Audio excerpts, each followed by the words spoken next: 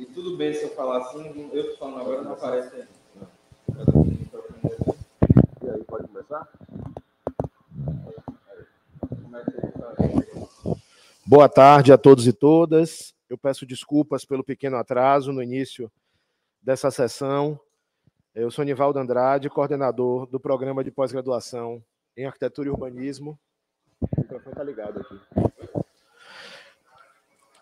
É, vamos dar início à palestra do professor José Manuel Moldova Melendo, intitulada Bases Metodológicas para a Pesquisa em Patrimônio, Cidade e Conforto Ambiental. O professor José Manuel Moldova Melendo é doutor em arquitetura e professor catedrático, que equivale ao titular no Brasil, de projeto Arquitetura e Meio Ambiente na Escola Técnica Superior de Arquitetura da Universidade de Sevilha, na Espanha. O professor José Manuel articula nas suas pesquisas os temas ligados à arquitetura, ao patrimônio, à cidade e ao conforto ambiental. Ele vem colaborando com a Faculdade de Arquitetura da UFBA e com o nosso programa de pós-graduação em Arquitetura e Urbanismo há muitos anos. Cito aqui, por exemplo, o livro publicado em 2011, em coautoria entre o professor José Manuel Modova, a professora Solange Araújo e a professora Griselda Klippel, em português e espanhol, intitulado Valores Culturais e Ecológicos da Arquitetura Tradicional de Salvador, Brasil. E mais recentemente, nós passamos a ter a possibilidade de realizar teses em cotutela, teses de doutorado em cotutela, entre o nosso programa de pós-graduação em Arquitetura e Urbanismo da UFBA e o programa de doutorado da Universidade de Sevilha. E o professor José Manuel Almodova Melenda é o responsável, pela, é o orientador espanhol pela primeira tese que será defendida amanhã, às 8 horas da manhã, nesta sala da congregação da Faculdade de Arquitetura da UFBA, nesse, nessa cotutela, que é a tese do doutorando Piero Carapiá, intitulada Problemas Crônicos, Artificialidade e Ilusão, a produção urbana na periferia do capitalismo, um olhar ao centro histórico de Salvador, tendo como orientadora pelo nosso programa de pós-graduação em Arquitetura e Urbanismo da UFBA, a professora Márcia Santana, aqui presente, e como orientador pela Universidade de Sevilha, pelo programa de doutorado da Universidade de Sevilha, o professor José Manuel Almodova. O professor Almodova, além da palestra da conferência sobre bases metodológicas para pesquisa em patrimônio, cidade e conforto ambiental, também falará é, nessa sessão de hoje sobre essas possibilidades de cotutela entre a UFBA e a Universidade de Sevilha. Essas possibilidades de intercâmbio vão além da pós-graduação. Nós temos um aluno da graduação, por exemplo, dois alunos que estão indo agora para a Universidade de Sevilha fazer intercâmbio e vários outros já foram ao longo dos últimos anos. Né? Eu aproveito aqui para agradecer a Lucas Trindade, aluno da graduação, é, e bolsista PIBIC da UFBA, que está aqui fazendo a transmissão e que é um desses alunos que irá para Sevilha nos próximos meses. E destaco, professor, não poderia deixar de citar o pioneirismo da Universidade de Sevilha num tema que a mim é muito caro, que são os estudos sobre arquitetura hispano-americana, no qual a universidade desenvolve há quase 100 anos pesquisas que foram e são referências para nós aqui também na América Latina. Então, a conferência de hoje conta com a participação da professora Márcia Santana como debatedora e do doutorando Piero Carapiá como moderador. E eu queria dar as boas-vindas ao professor José Manuel, agradecer a presença dele mais uma vez aqui na UFBA por essa parceria na cotutela da tese de Piero Carapiá, pela conferência e agradeço é, por todas as contribuições que ele vem dando para a gente discutir também o nosso centro histórico, que é um tema recorrente das suas pesquisas na articulação com a UFBA. Então, eu passo imediatamente a palavra ao professor José Manuel Bodova. Boa tarde. Ok, bueno, boa tarde a, a todos os que estão escutando a palestra. Eh, no primeiro lugar, eu queria agradecer a organização deste, desta palestra por parte do professor Nivardo, e a participação da professora Márcia, e o, eh, o doutorando Piero Carapia, que vão participar eh, conduzindo o debate que se vai fazer eh, sobre a, a palestra. E, bueno, também agradeço a, a apresentação do professor Nivaldo. Bom, eu sou, eh, bueno, vou tentar eh, falar devagar para que todo mundo possa, possa me entender melhor. Por un lado tengo que hablar en portugués y por otro tengo a máscara, que también dificulta a, pronunciación y, que sea más fácil de escuchar. ¿no? Entonces intentaré de falar o más devagar posible para que sea más fácil de seguir a, a palestra. Então, bom, o que eu vou fazer nesta hora é falar de algumas das minhas pesquisas. Vou me centrar mais no que tem mais proximidade com o Brasil, ou com a Hispanoamérica. E vou fazer mais ênfase na questão da metodologia, não? Como é que eu pesquiso e quais são as metodologias que eu uso em diferentes tipos de pesquisa. As pesquisas vão ser relacionadas com os temas de patrimônio, cidade e conforto ambiental. Às vezes mais voltadas para o conforto, às vezes mais para o patrimônio, mas patrimônio, na minha pesquisa, geralmente está também muito eh, relacionado com a cidade. Eh, bom, eh, eu normalmente trabalho com muitas universidades fora da Espanha. Eh, com Brasil, eh, os meus primeiros estágios no estrangeiro foram para o Brasil, quando eu estava começando a minha atividade acadêmica. Mas depois he trabalhado muito tempo com universidades da China e do Japão, porque as minhas especialidades são cidade, patrimônio comportamental, mas também voltadas para a Ásia Oriental. Eu, em Sevilla, dou aula na Escola de Arquitetura, mas também em, um, em uma graduação em, estudo, em estudos de Ásia Oriental. Por essa razão, pues, eu fiz vários estágios na China, no Japão, mas também nos Estados Unidos. Foi um lugar onde eu fiz eh, bastantes eh, pesquisas. Então, vou falar de vários temas em diferentes eh, lugares geográficos, focalizando a análise na questão metodológica. quase todos os temas eu vou fazer como uma comentários gerais, porque não dá tempo nem, nem preciso agora contar os detalhes de cada pesquisa. Vai ser só um marco de como se fez a pesquisa é, mas se de repente alguém depois quer ter mais informação, eu posso enviar publicações, porque quase todos os temas estão publicados. Então, a gente pode depois conseguir mais detalhes da pesquisa que, que eu vou mostrar, não? Ok, bom. So, eu vou começar com um tema no que he trabalhado muitos anos, que liga cidade, conforto, eh, cidade comportamental e patrimônio. Foi a questão de o período da era dos descubrimentos no que Espanha e Portugal se expandiram para o resto do mundo. Então, eles levaram novas ideias, ideias de cidade e de arquitetura que foram, foram desenvolvidas na Europa, mas de repente foram importadas em outros lugares com uns precedentes culturais e ambientais, às vezes, muito diferentes. Daí que a arquitectura europeia tuvo que ser adaptada num processo lento a esses novos contextos culturais e ambientais. Até que, finalmente, essa arquitetura desenvolveu uma identidade própria, não?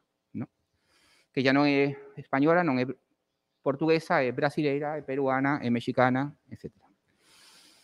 Então, eh, bom, nessa expansão ibérica no mundo, aconteceu a primeira globalização. Foi a primeira vez que as ideias sobre arquitectura, objetos, etc., circularam desde eh, amplos territórios da Ásia para América e para a Europa. Então, é interessante também que, de repente, quando um modelo europeu na América, por exemplo, no Brasil, não dava certo por, por causa da, da questão climática ou cambios de uso ou modos de vida, de repente a solução teve que ser totalmente nova. Essa solução, às vezes, já não era dentro do contexto europeu, mas era dentro de um contexto muito mais amplo, com influências que iam e voltavam desde a Ásia para América e para Europa. Então, eu vou focalizar um pouco na questão da cidade e do patrimônio aderido a estas ideias de cidade. Não? Então, como veis aqui nesta imagem, em vermelho você vê algumas das cidades fundadas por os espanhóis e em ciano, cidades fundadas pelos portugueses. Estas cidades estabeleceram novas rutas comerciais que eh, um fluxo de ideias de, de lugares para outros. Então, eu vou falar um pouco da parte espanhola e depois da portuguesa, porque as diferenças são um pouco mm, diferentes. Então, eh, a cidade espanhola geralmente foi uma cidade muito bem, bueno, eh, planificada, basada nas leis de Índias, então, com umas ideias muito simples, foram construídas eh, quase que mil cidades em todo o continente americano em alguns lugares da Ásia. Eu acho que um dos processos de construção de cidades planificadas mais extensos da história da humanidade. Não? E todos tinham um hilo condutor, algumas coisas em comum. Eh, uma praça principal, praça maior, onde ficavam os edifícios, os prédios mais importantes, e depois uma retícula onde eh, que poderia crescer ilimitadamente. Eh, mas sempre todo muito organizado em esta geometria reticular. E vocês podem ver muitas cidades seguindo exatamente o mesmo padrão. Por exemplo, esta é a Praça Maior, eh, denominada o Zócalo, no México. Está aqui a Praça Maior de Bogotá, em Colômbia. A de Lima, no Perú. Ou a de La Habana, em Cuba. Vocês veem que todas têm uma peculiaridade, uma identidade própria, mas uma base semelhante, por este processo de adaptação a diferentes climas. Ou a Praça Maior de Santiago do, Chile. Então, para estudar este processo de adaptação a uma nova realidade e para aproximar-nos a entender uma cidade com interesse patrimonial e histórico, eu desenvolvi uma metodologia na que intento relacionar todos os aspectos que têm que ver com entender uma cidade. Uma cidade é uma questão muito complexa, como em geral é a arquitetura, então tem que ser relacionado muitos aspectos para eh, aproximar-se a este objeto de estudo tão, tão difícil. Então, eu no, normalmente estabeleço três fases que vocês veem em vertical. A primeira é o estudo do lugar. Obviamente, quando estamos a falar de como uma arquitetura comum desenvolve características próprias, é fundamental entender o lugar. Eu entendo o lugar com dois diferentes significados ou diferentes aspectos. O contexto, desculpa, o entorno, que tem que ver mais com o lugar físico, com o clima, eh, a vegetação, topografia, eh, eh, para a construção, etc. E o contexto, que tem que ver mais com a experiência humana num determinado lugar, que tem que ver com a história, a cultura, modos de vida, etc. Depois, numa segunda fase, eu analiso mais a forma arquitetônica. Eh, primeiro, empezo, eh, se começar, dependendo dos casos, por o global, análise da, eh, da cidade, eh, o conceito do térmico eh, eh, ya eh, no aspecto arquitectónico, como son os muros, cubiertas, lo que es a envolvente arquitectónica. Esta cuestión tiene que ser relacionada constantemente, eh, constantemente con aspectos de cómo se habita esa forma arquitectónica. Porque la arquitectura está feita para ser habitado, no en un objeto solo para observar. Entonces, tiene que ser ligado con aspectos eh, físico-culturales, eh, disculpa, estéticos culturales, eh, como son a cuestión de eh, configuración do elementos ornamentais e decorativos, elementos simbólicos, que son muy importantes porque los símbolos de la ciudad son los que representan la cultura local. Y cuando esos símbolos se destruyen, se destruyen pueden generar una...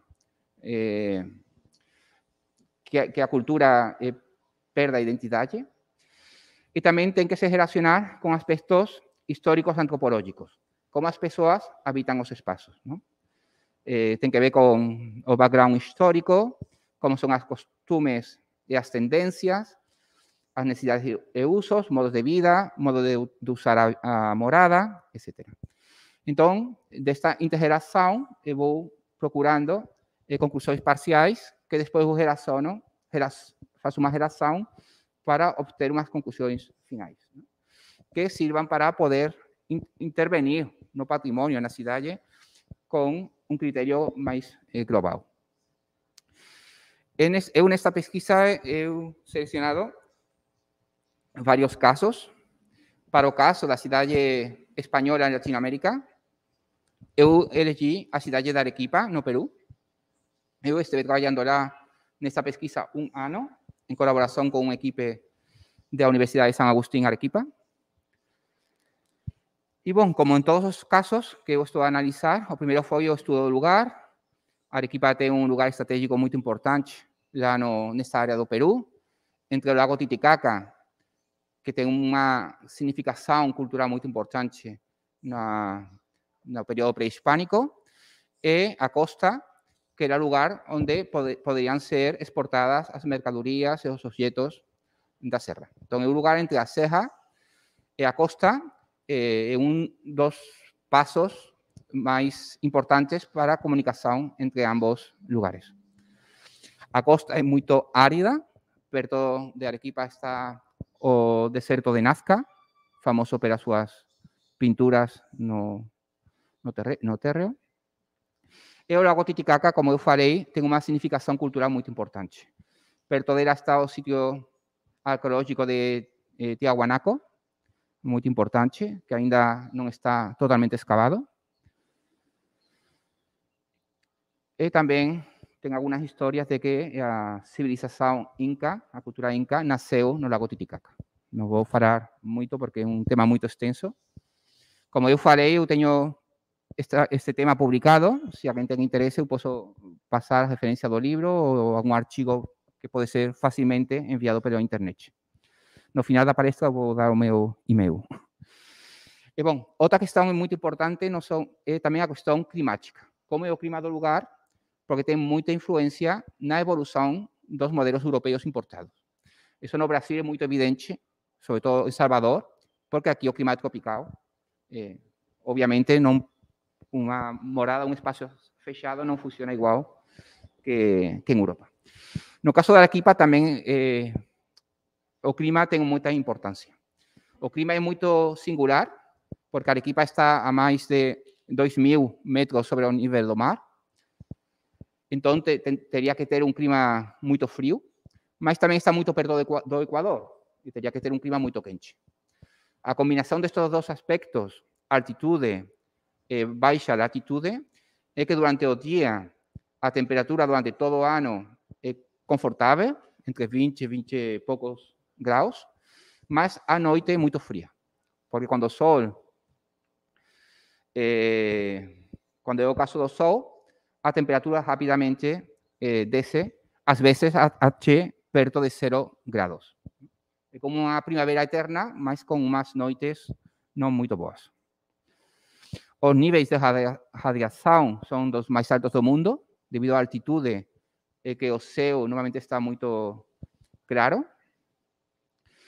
E, bom, esse lugar do mundo é facilmente entendível a importância do sol no, no, na, na existência do homem nos seus ciclos vitais. Esa es la razón por qué eh, las culturas prehispánicas, en, en, concreto los incas, colocaban as cidades no alto da montaña. É just, esta é uma foto de Machu Picchu, desde o Juana Picchu. E justo no ponto máis alto, eles colocaban un objeto como este, eh, o nome Intihuatana, que significa como o lugar onde o sol era atado para evitar que fuxira e o mundo se esgotara, ¿no? eh, finalizara dentro da mentalidade da cultura inca. Em outras culturas também se construíram grandes edifícios para fazer esta medição do passo de tem do tempo, eh, do curso solar, e do passo da, das estações, que era algo muito importante em culturas de base agrícola. Inclusive, o pictograma oriental, que significa o conceito de tempo, é como um sol o pictograma da direita, eh, cae sobre un templo, un edificio religioso. religioso ¿no? Realmente, quando o sol se manifesta na obra humana é quando se percebe o paso do tempo. Aqui tem mais uma outra foto do outro Intihuatana. Este aqui é da cidade de Pisac. E, bom, esta é a foto da portada do livro, onde vocês podem encontrar muita mais informação sobre esse tema. E não não vou me estender muito, só dizer algumas das questões desta pesquisa e dos resultados, para vocês entenderem com mais detalhe eh, em que consiste este tipo de pesquisa. Não? Esta é uma foto da Arequipa, como vocês podem perceber, está justo no lado de um vulcão, e por essa razão a cidade foi destruída várias vezes. Isso, desde o ponto de vista da adaptação da arquitetura ao clima, foi bom, porque a cidade tuvo que ser reconstruída varias veces e sempre que se reconstruiu tentou-se melhorar as coisas que não davam certo. Por isso, um exemplo interessante de uma boa adaptação da arquitetura e desde cidade e da arquitetura europeias a um clima totalmente diferente. O primeiro que fi, eh, a gente fez nesta pesquisa foi a análise urbana, porque o traçado urbano vai influir em todos os prédios que vão configurar a cidade. Então, as, as leis de Índias normalmente falam de que a melhor orientação é norte-sul, e quase todas as cidades latino-americanas têm essa orientação. Mas, às vezes, a gente pode encontrar algumas mudanças devido à topografia do terreno ou porque está perto de uma, da costa, de um rio, como neste caso, que tem o rio Chili, eh, Chili eh, muito perto da, da cidade. Então, tem, está um pouco girada hacia el norte-sur. Como todas as cidades latino-americanas, tem uma praça maior, que vocês podem ver aqui. E, bom, o que é o centro histórico da cidade está muito bem conservado, eh, patrimônio cultural da humanidade, igual que Salvador.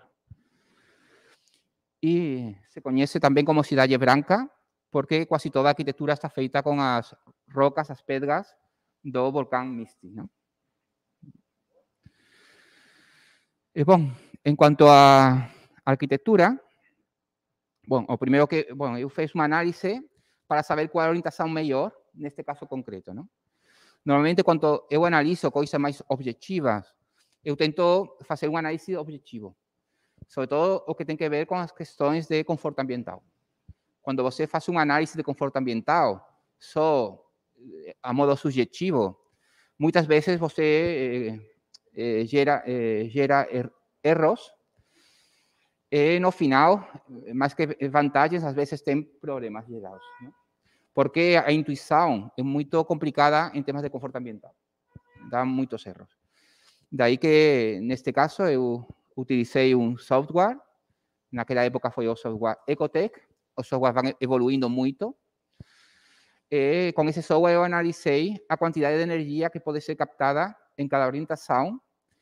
se a cidade norte-sul, norte 45 de, ou a metade, 22.5. Então, encontramos que com 45 graus é quando todas as fachadas podem receber sol todos os dias do ano. Isto aqui em Arequipa é o mais aconselhável, porque como as noites são muito frias, se uma fachada leva muitos dias sem receber sol, fica o tempo todo fria. E isso, em este clima, dá muitos problemas à noite. É muito importante que todas as fachadas recebam sol para ficar mais cálidas para a noite que quando a temperatura desce. É a primeira coisa que você nota que é totalmente diferente que na Europa. Na Europa, sempre na cultura clássica, grega e romana, a cidade ideal é norte-sul. Mas aqui não tem sentido porque o clima é totalmente diferente. Então, as soluções têm que ser, obviamente, diferentes. Em quanto à arquitetura, bom, a arquitetura popular da Arequipa é uma arquitetura de casa-pátio, como na tradição mediterrânea, eh, mais concretamente andaluza, do sul da Espanha, que foi a que mais influência teve na configuração da arquitetura popular em Arequipa.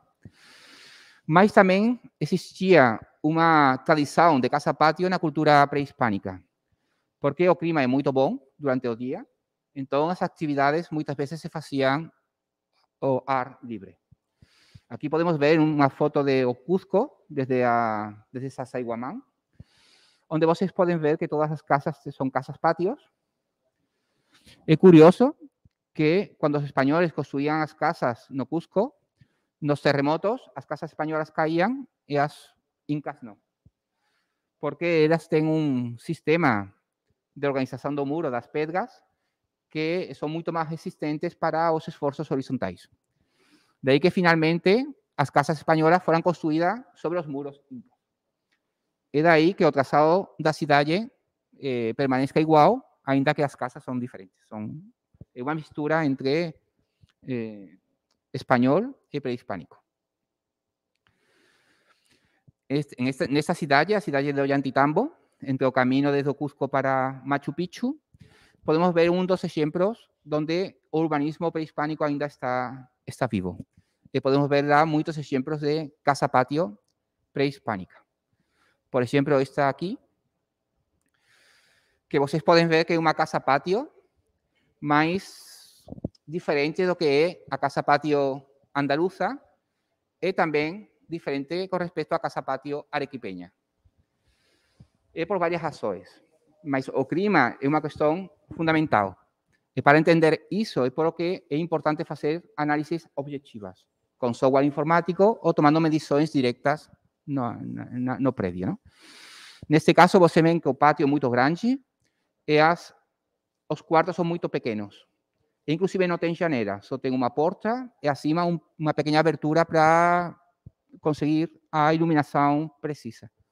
Isto é porque neste lugar é muito importante captar sol durante o dia e durante a noite evitar a perda de, de, de calor. Por isso se reduce os, as perforações do prédio para evitar as perdas térmicas à noite e o pátio grande para que todas as fachadas possam receber sol. Também o clima é muito bom, então não precisa sombra. A gente pode ficar, bueno, pegar sombra no, com árvores no centro do pátio, mas, mas o mais importante não é a sombra, o mais importante é a captação solar nos prédios em torno ao pátio. No caso de Sevilla, que é un dos precedentes a Casa Patio de, do sur da España, é totalmente diferente. E Casa Patio, máis o problema en Sevilla é o, o estrés térmico durante o verão. Aquí o noso compañero que vai para Sevilla en agosto vai coñecer ben o que é Sevilla en agosto e o problema térmico que a cidade ten. Entón, a Casa Patio Sevillana normalmente ten os patios muito pequenos, ten dois andares, e tem elementos de sombra, refrigeração mediante fontes, eh, o pátio normalmente está encoberto durante o dia e normalmente as famílias vivían no primeiro andar durante o verão e no inverno mudavam para o segundo andar, ou a, a, a sala de, de estar, para receber mais sol, porque na segunda andar é mais fácil captar o sol. E também vocês podem perceber uma galeria em torno ao pátio para conseguir proteger do sol as estâncias e as paredes. Então, o conceito é muito diferente. São casas pátios, mas por causa do clima, a solução não pode ser igual. E aqui vocês podem ver uma imagem da Casa Pátio Arequipeña, que tem questões que têm que ver com o clima local e com a Casa Pátio pré-hispânica, mas também questões, obviamente, da arquitetura importada desde Europa. Finalmente, essa Casa Pátio já não é europeia, já não é pré-hispânica, é peruana mesmo. Por este processo de adaptação ao clima e à cultura local, no final tem uma identidade própria, que é importante em países eh, como é o caso do Peru. E, eh, por causa dessas questões, a Casa Arequipeña é a galería perimetral non é fora eh, por fora do patio, sino é por o interior dos cuartos, ten unha circulación que gera moita fluidez e moita conexão con o patio. Eh, vez, eu fiz un análisis objetivo de como é o funcionamento do patio neste lugar concreto, eh, facendo unha metodologia onde eu eh, 100 tipos de geometrías diferentes e observaba qual é a melhor geometría para poder, poder captar a maior energia possível em todas as fachadas. Às vezes o análise tem que ser feito com uma perspectiva humanista, mas em algumas questões eu acho que a gente tem que usar eh, um análise mais técnico e objetivo para poder eh, sacar conclusões eh, válidas e objetivas, ¿no? que, que sejam úteis. Outra questão muito importante que afeta a configuração da arquitetura é a iluminação. Nós moramos iluminação, a luz natural. Nós moramos agora no século XXI. Sabemos que quando não há luz, a gente pode ligar a luz elétrica, não tem problema. Mas há 100 anos, se a gente não tem luz, tem um grande problema, não? Então, para conseguir mais luz, a arquitetura tem que ser diferente. Não tinha outro jeito mais que mudar a tipologia arquitetônica. Então, por essa búsqueda de iluminação, também mudarão muito as tipologias europeias quando em outros lugares fora da Europa. No caso da Arequipa, o primeiro que foi uma surpresa para nós foi que o, as estanças são, o fundo é muito mais perto da janela, mas a luz eh, decresce muito com a profundidade da janela. Ou seja, as estanças são mais escuras que na Espanha, mas fora o sol é muito mais intenso. Inclusive, isso se percebe porque em toda a arquitetura popular da Arequipa, vocês podem ver constantemente un grande número de eh, lucernarios, como en portugués, claraboyas. Claraboyas. Puede haber muchas claraboyas en toda arquitectura popular, porque de repente construyen un prototipo español, mas non ten luz. Entón, algo ten que facer, non pode ser usado o espazo sin facer unha modificación. Entón, todas as cubertas das casas tradicionais da Arequipa eh, pois ten eh, eh, claraboyas que permiten eh, aumentar a iluminação natural, mas ao mesmo tempo proteger do sol direto para evitar eh, sobrecalentamento durante o dia. Estes são exemplos de arquitetura eh, de um convento, convento de Santa Catarina, um dos conventos mais importantes do Peru. Mas também nesta igreja, a igreja de jesuíta de Arequipa, também pode ver eh, uma solução similar. Se analisamos o que acontece em outras igrejas do Peru ou em áreas perto do Equador, vemos que acontece uma coisa similar.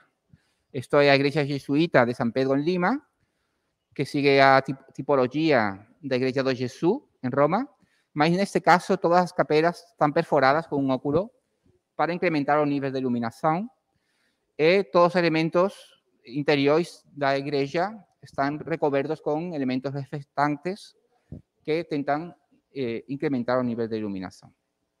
Podemos ver muchos ejemplos por todo Iberoamérica de cómo a arquitectura foi mudando para se adaptar a esta búsqueda de iluminación. Mas quizás un, un dos exemplos máis importantes son as cúpulas no barroco. O barroco nasceu nesta época onde a arquitectura europeia foi máis universal, foi usada en todo o mundo, e obviamente, eh, cuando el clima eh, muda, pues estas cúpulas también tuvieron que se adaptar a unas condiciones lumínicas diferentes. Aquí vemos un caso, aquí en Salvador, que hay iglesia de São Vento. Ustedes ven que tiene llaneras eh, la base da, la base la cúpula, mas también la cúpula tiene otras llaneras circulares para incrementar el nivel de iluminación como vocês podem ver aqui nesta foto, e aqui no interior da igreja. Isto não, era habitual na Europa, mas foi preciso perto do Equador, por esta questão de o sol é muito mais vertical, então a penetração no interior é menor, sobretudo no caso de seu claro, não? como é o caso eh, aqui. Não? Outro exemplo muito representativo que podemos ver em Salvador eh, que é muito ilustrativo do que aconteceu em toda a Iberoamérica, é a Igreja da Conceição da Praia, eh, aqui perto do Pelourinho. Esta igreja foi desenhada em Portugal, e inclusive essas pedras foram trazidas de Portugal para o Brasil para construir a igreja. Mas quando a igreja foi rematada, de repente perceberam que não tinha luz suficiente para fazer a, as atividades na, na igreja, não? Então foi preciso colocar esta linterna que inclusive afectou a estabilidade do templo, simplesmente para requalificar lumínicamente o prédio e poder eh, ter um uso adequado. Não? É, é dizer, a búsqueda de iluminação afetou incluso a estabilidade do prédio, mas era uma questão, é, é imperativo para poder usar o espaço. Não? Esta linterna justo debaixo do altar e consegue requalificar lumínicamente a, a igreja. Eu trabalhei nessa questão, eh, analisando templos barrocos na Europa, em outros lugares do mundo. E para, para, para fazer esse trabalho, eu trabalhei com duas metodologias, eh, informáticas, para saber durante um período largo, durante todo o ano, como varia a iluminação nesses prédios, mas também, às vezes, monitorizações, é dizer, eh, tomada de dados objetivos da iluminação, temperatura, umidade, etc. Eh, eh, bom, os resultados son, eh, son interesantes porque permiten coñecer a arquitectura tradicional, mas tamén aprender da arquitectura tradicional para usar adecuadamente a arquitectura contemporánea. ¿no? Por exemplo, está aquí é, un, é unha solución, unhas claraboias diseñadas por o arquitecto Álvaro Alto en la Biblioteca Vipuri, e, eh, que, como vocês podem ver, son como conos que ten eh, con iluminación cenital. Isto aquí é un clima frío en unha latitude moito alta, como é a de eh, o norte da Europa, o sol durante quase todo o ano pode dar sobre o intradós do cono e conseguir ilum, eh, acrescentar a iluminación natural do predio, mas no verão, debido a que o clima non é moito quente, e a trayectoria do sol non é tan vertical, non, non problemas de aquecimento. Se eu usara esta solución en Sevilla, obviamente sería totalmente eh, inhabitable. Por esta razón, eh, eh, nos diseñamos eh, un encargo de claraboyas en, en unha escola en Dinamarca e eh, non fixemos a mesma solución que nos hubiéramos feito no caso de Sevilla. Neste caso, hicimos unha solución con moito máis vidro, onde deixábamos moita máis entrada de sol, porque o clima é moito máis frío, e usábamos tamén un lugar para eh, conseguir pegar o sol no alto da, do espaço e incrementar o nivel de iluminación. Bom, estas son cuestións moito complicadas ou moito extensas, e non vou tentar explicar todo, mas se alguén tiver interés, eu posso enviar artigos onde este proxecto está publicado o que falei antes da Arequipa ou de o Bajoco en diferentes lugares do mundo. Tengo artigos sobre esos temas e se alguén ten interese, eu posso enviar. Bueno, neste caso, Mesma coisa, eu sempre traballo con monitorizações para facer un diseño científico, onde os parámetros, o que vai acontecer, poda ser previsto na etapa de diseño do predio. Este aquí é un outro proxecto que un hotel bioclimático no sur da España, onde eu aprendi as vantagens deste tipo de predios con simetría axial para facer arquitectura contemporánea. Eh, un clima como el de Sevilla é unha solución que pode ser moito interesante porque con unha proporción de huecos ou perforações moito pequena pode ser conseguir un nivel, un nivel de iluminación moito alto sin aquecer o espaço. Porque o problema en un clima quente é que se eh, sol entra moito no espaço, pode incrementar a iluminación, mas pode ter un grande problema de aquecimento. Entonces, este tipo de templos son muy interesantes desde esa perspectiva. Y también hice este proyecto aquí, que también está publicado, si alguien tiene interés, yo puedo mostrar, no que también se aprendeu estas geometrías que permiten captar el sol en todas las direcciones para incrementar el nivel de iluminación y controlar también a cantidad de sol que puede entrar en el espacio interior. Eh, como siempre, pues, trabajé con simulaciones e monitorizaciones. Aquí está o predio. Nesta visita ao predio, foi no inverno e ainda não estava rematado. Era um dia de muito frio, mas dentro a temperatura era já confortável, inclusive quando o predio não estava rematado. E no verão, os voradizos, prateleiras, não, voradizos... Ah, abóbadas? Não, quando vai proteger uma janela... Com... Ah, Beirais. Beirais, sí. Os beirais consiguen proteger do sol, están diseñados para proteger, proteger do sol durante o verão. E tamén ten ventilación cruzada. Isso. Bom, bom, continuando con este tema do que como estou a falar, pode contribuir tamén a aprender do pasado para fazer arquitectura no presente, pois podemos encontrar eh, muitos exemplos de iglesias barrocas con eh, llaneras en, en, diferentes niveles para conseguir recualificar lumínicamente predios en latitudes muy, muy baixas, donde o modelo europeo, este modelo europeo non, non dá certo. ¿no? Este é o caso da Igreja da Compañía de Jesús en Guanajuato, México. Este é un outro caso que a Capilla do Rosario, tamén a cidade de Puebla, México, onde vocês podem ver todo o interior totalmente revestido de dourados ou elementos reflectantes. Estas ideas, ideias da existência de prédios dourados ou prédios de ouro, eh, eh, iban y voltaban desde Asia hacia América y también hacia Europa, ¿no? Y porque existía también un gran interés en la, colonia, en la corona europea de búsqueda de oro, pues estas ideas eran especialmente propaganda, propagadas, ¿no?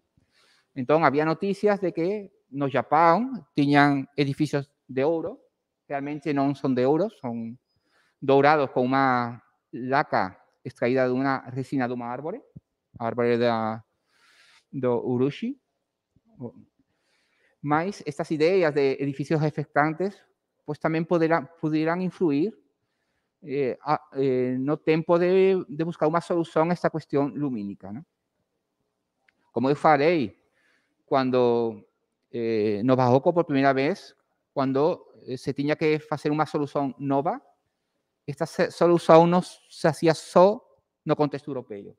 Era um contexto já mais universal, com influências, ideias que iam e voltavam desde todo o mundo conhecido. Por esta razão, por estas novas rutas comerciais que se estabeleceram a través das novas cidades, podemos encontrar também muitos objetos com influência asiática ou trazidos desde a Ásia. ¿no? Podemos encontrar em toda Latinoamérica muitos objetos que procedían da Asia a través de la ruta do Galeón de Manila, que ya desde Manila hacia México y después de México hacia, hacia España.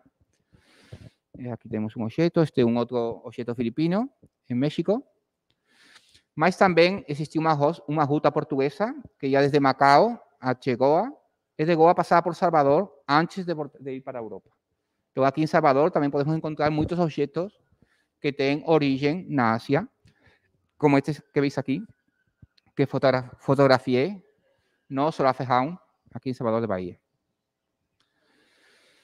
Y bueno, cuando damos una ollada a qué acontecía en ciudades como Macao, que son muy interesantes para nosotros porque, porque ten una, tuvo un contacto Macao con Goa y con Salvador, vemos también que en este caso las cúpulas tienen doble, eh, doble fila, mas también están protegidas do sol e tem umas janelas para, para prover de ventilação nesse clima cálido e úmido. Não? É um exemplo de uma boa adaptação a esta questão diferente, que era um clima tropical, desconhecido até então na, na Europa. Não?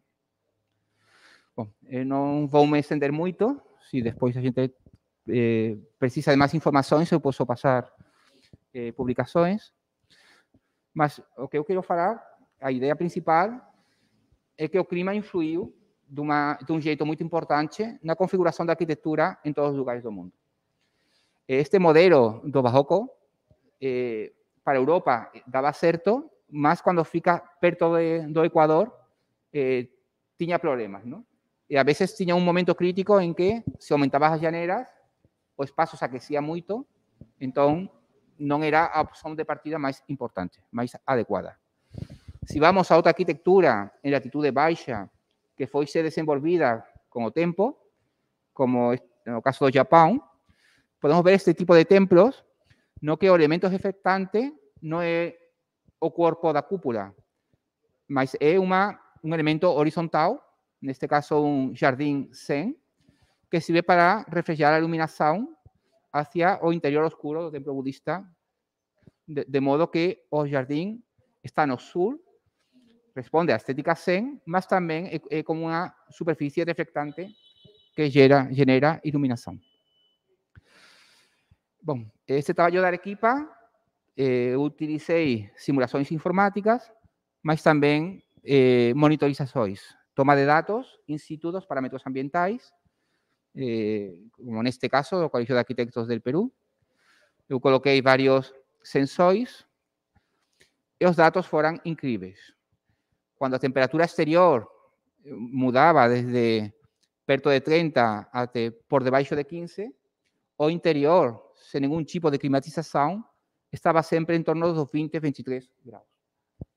Entonces, es un ejemplo muy interesante de una arquitectura armónica. Uma arquitetura que responde ao clima, eh, genera identidade cultural própria e umas bo- boas condições de vida. Não? É uma arquitetura eh, conectada com a cultura local e com o clima. E o resultado pues, é, é ótimo neste caso. Não?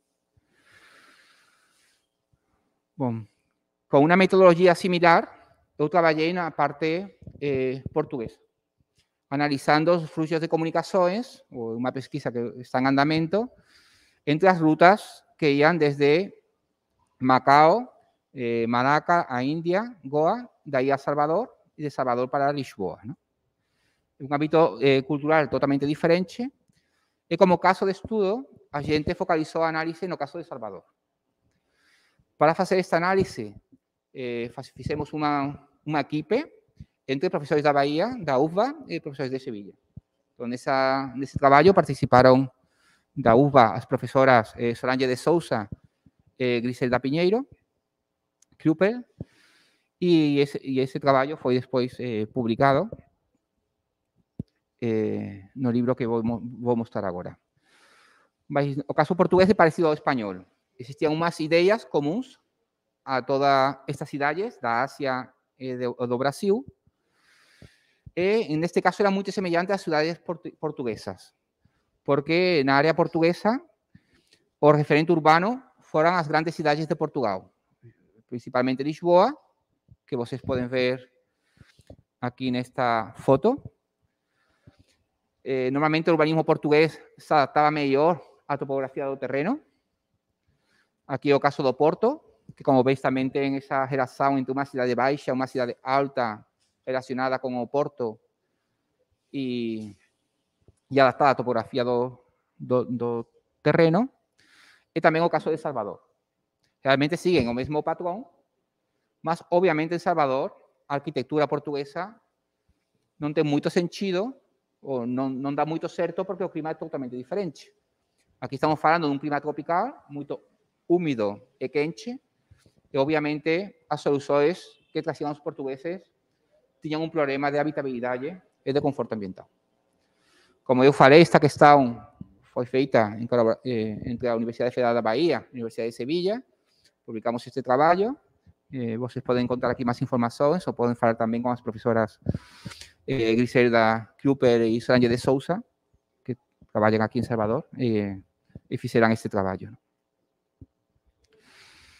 Bom, nesse trabalho brasileiro é muito especialmente relevante, porque quando a arquitetura moderna foi trazida para o Brasil, o Brasil tentou incorporar à arquitetura moderna, foi um caso muito interessante, porque uma, uma colabora- colaboração entre Le Corbusier e uma equipe de arquitetos brasileiros, lideradas por Lúcio Costa, Oscar Niemeyer e outros muitos, onde tentaram buscar uma própria identidade da arquitetura moderna brasileira. Esta, esta búsqueda foi muito, eh, te- teve muito sucesso, porque o Brasil conseguiu, inclusive, exportar cultura moderna desde su país a- a- ao resto do mundo. Não, não foi incorporar eh, cultura ou arquitetura estrangeira, sino conseguiu buscar o seu, a sua própria personalidade, eh, tendo conta as entre elas, uma muito importante que é o clima tropical. Então, eh, no Brasil, a arquitetura moderna se identifica muito com a arquitetura ambiental, o conforto ambiental. É um dos edifícios paradigmáticos desta, paradigmáticos desta ques- questão é, é o Ministério da Educação e Saúde do, Rio de Janeiro, onde participou Le Corbusier com esta equipe de arquitetos brasileiros. Eu fiz um trabalho neste prédio, fazendo uma análise ambiental de como é que dá certo esta solução para o clima cálido e úmido do Brasil. E também, se alguém tem interesse, eu posso enviar a, a publicação. Também, isto não foi só uma, questão isolada, houve em outros lugares do mundo com uns objetivos parecidos, outras, outros intentos de adaptar ou dar uma nova personalidade à arquitetura moderna em outros lugares, eh, em concreto nos lugares com clima tropical. Um desses exemplos muito interessante é este daqui, é um prédio com uma fachada é um brisoleiro muito semelhante ao do Ministério da Educação e Saúde, que foi feito por Anthony Raymond em, em Pondicherry, em, na Índia. né? Aqui vem algumas fotos da fachada. Eu também trabalhei muito na arquitetura moderna do Japão, e fazendo eh, um análise de como eh, se retroalimentou a arquitetura moderna japonesa arquite- ou a tradição japonesa com a arquitetura moderna europeia e do mesmo jeito a arquitetura moderna europeia na arquitetura do Japão atual. Não? Foi uma troca muito interessante e sobre essa questão eu também publiquei vários trabalhos, sobre todo os trabalhos de Rudolf Schindler, Richard Neutra, que trabalharam com Frank Wright, e que eh, algumas das questões que eu acho que são básicas da arquitetura destes arquitectos têm a sua, a sua origem na arquitetura japonesa. É um tema também muito longo, e não vou contar agora, mas se alguém tem interesse, posso enviar algumas publicações sobre esta questão. Para trabalhar nesta questão, eu fiz várias instâncias de pesquisa em Los Angeles e também na Universidade de Columbia, em Nova York, onde tem uns arquivos muito importantes sobre os, os papéis originais destes arquitectos. não? Eh, bom, sobre essa questão de como se faz uma análise do brisoleiro, do brisoleiro em o, o, de ventanas e proteções solares, é uma questão que eu, na que eu pesqui- pesquisei muito, e sempre eh, desenvolvi um para ligar mm, no diseño de proteções solares e janelas a iluminação com as questões térmicas, porque tem que ficar unidas se queremos eh, chegar a uma boa, um bom resultado, não? E com este procedimento trabalhei no Ministério da Educação e Saúde, mas também nesta assessoria ambiental em num, numa igreja muito icônica em Nova York, que é a igreja o, a Riverside Church, perto da Universidade de Columbia, eh, que naquela época pues querían ver a posibilidade de transformar o módulo de oficinas dessa igreja em aulas para a Universidade de Columbia. Porque é uma universidade muito céntrica em Nova York, mas tem problemas de espaço. Então, bueno, eu fiz uma análise, uma proposta que enviei para o, as pessoas que, que estavam eh, analisando esta questão, utilizando esse procedimento. Se alguém está interessado, posso enviar também eh, informações sobre o procedimento e esses trabalhos de análise ambiental para o desenho de janelas e proteções solares. E também com Estados Unidos, pues trabalhei também com essa ideia de estudar o conforto ambiental em prédios de arquitetura moderna, eh, numa pesquisa que foi eh, financiada para Getty Research Institute e, e que eh, realizou a Cal Poly Pomona, a, uni- eh, eh, California State University eh, Pomona, en Los Ángeles, y que en esa época estaba colaborando con esta universidade, eh, participei como colaborador na, na pesquisa, ¿no? A pesquisa de- deu lugar a varias publicações, se alguém está interesado posso enviar, e também fizemos uma exposição, primeiro em Los Ángeles e depois em Sevilla, sobre esse trabalho sobre arquitetura moderna em Califórnia, desde, un- desde uma perspectiva ambiental. Bom, não me quero, não quero me estender muito, mas sim falar deste trabalho por se alguém está interessado, não? Bom, no final, esta pesquisa em geral vai focalizada na questão de que eh, no mundo sempre o clima teve uma grande importância no desenvolvimento da arquitetura em cada lugar e também neste processo de primeira globalização, onde diferentes culturas entraram, entraram em contato e as ideias foram transmitidas de um lugar para outro. Pero nos últimos anos, pois por esta globalização, o que está acontecendo é que alguns países estão exportando a sua arquitetura e a sua cultura ao resto do mundo. E como consequência, a importância cultural no contexto internacional de alguns países está diminuindo e outros países está exageradamente grande. ¿No? O que se mostra nesta pintura surrealista do mundo, no que se representa as áreas do mundo por sua influência cultural no resto do mundo. ¿no? Este, este proceso genera grandes problemas. En primer lugar, un problema de empobrecimiento cultural, porque uma cultura se impõe ao resto das culturas, e também um grande problema de sostenibilidade, porque se está construindo arquitetura não adaptada a, ao clima e ao lugar. Não? Então, com estas pesquisas, de algum jeito, eh, pues recuperar este concepto oriental de alianza que se entiende como una relación armónica entre el Sol y la Luna, representado por los pictogramas que veis arriba, y su reflejo en la Tierra. ¿no? Es un poco la idea de estas pesquisas en las que se relaciona patrimonio con cidade y con comportamiento. Y bueno, lamento que quizá hay mucha información en muy poco tiempo, mas só quería mostrar algunos dos meus trabalhos. Eh, se alguém tem interesse em alguma questão concreta, eu posso enviar eh, publicações. Depois eu vou dar o meu e-mail, se vocês querem contactar. E bom, eu também queria pues, mostrar algumas ideias para proponer um debate sobre algumas questões que possam ser de interesse. En general, mis áreas de pesquisas están ligadas también a mi docencia en Sevilla. Eu eh, imparto una asignatura sobre a cidade no quinto curso. También no quinto curso una, materia sobre conforto ambiental. Y después, no grado en estudios de Asia Oriental, eh, pues imparto una materia sobre arquitectura de cidade no Asia Oriental, na China, no Japón, que también una de mis líneas de, de pesquisa, ¿no? De, modo que las veces a mis pesquisas están más focalizadas en una cuestión humanística, otras veces más técnica, a veces las dos al mismo tiempo, y también relacionadas con estudios asiáticos, ¿no? Pero siempre en el contexto de interculturalidad, de la relación entre culturas, eh, poco de ideas, ese tipo de cosas. Por esa razón también he colaborado con muchas universidades eh, eu sempre acho que a, a entre universidades diferentes, diferentes contextos culturais, ajuda muito a aprender do outro, mas também a aprender de um mesmo, não? Porque uno conhece mais a sua realidade quando entra em relação com uma outra realidade, não? muitas vezes. Estas são as ideias que eu queria mostrar aqui na palestra. E, e bom, não sei qual é o acho que a moderadora é a professora. Ah, ok, ok. Então vou passar a, o microfone para o. Só cuidado com o copo aqui.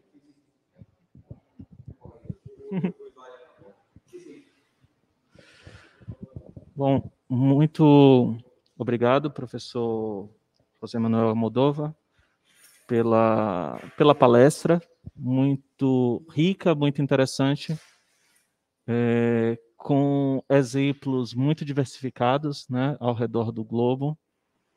E, e pela oportunidade né, que nós temos aqui de mais uma vez, né, é, graças aí à sua larga trajetória de contato com o Brasil, mais uma vez a gente poder né, ter essa possibilidade de discussões né, interessantes e ricas, e nesse espaço tão, tão caro, né, tão importante para a arquitetura no Brasil, que é a questão da arquitetura bioclimática e suas raízes né, tradicionais, e também a, o olhar né, da arquitetura moderna brasileira sobre isso. Eu passo a palavra agora para a professora Márcia Santana, que está aqui como debatedora nesse, nesse evento. É, e também peço né, se o, o, o Lucas, que está nos ajudando, identificou alguma pergunta, alguma questão que vá separando para a gente depois, é, ao final né, dos debates, a gente possa é, aportar né, essas contribuições. É... Bom, eu começo também agradecendo muito a presença do professor Almodova aqui com a gente e a sua brilhante palestra, muito instrutiva, como o Piero observou, nos mostrando aspectos muito importantes da arquitetura em várias partes do mundo e em particular aqui na América Latina, o que vem sendo um ponto de interesse muito grande também dos nossos estudos aqui na Faculdade de Arquitetura. Bom, infelizmente, eu não sou um especialista em conforto ambiental. De fato, não sou. Né?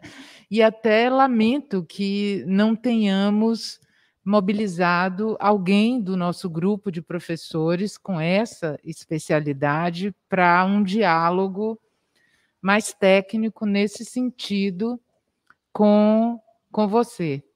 Mas, é, então, eu vou dirigir as minhas perguntas mais é, no sentido é, da relação entre cidade e patrimônio, e alguns outros fatores que podem, digamos assim, influenciar essa relação, e um pouco também explorar com relação a esses estudos particulares sobre o clima e a influência do clima na forma arquitetônica, tentar estabelecer aqui um diálogo entre você e alguns autores que também refletiram sobre isso, para saber um pouco a sua opinião. Bom, eu anotei aqui um conjunto de perguntas que vão em, em algumas direções. É, eu vou colocá-las todas para que você escolha qual você gostaria de responder primeiro, né?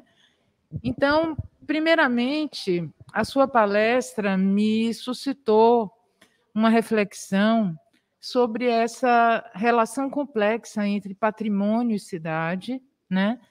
respeito ao patrimônio, preservação do patrimônio e cidade e a indissociabilidade da, da solução dessa questão e dessa relação é, pelo planejamento urbano, ou seja, a importância do planejamento urbano para que essa para que esse respeito e essa relação de preservação possa se desenvolver.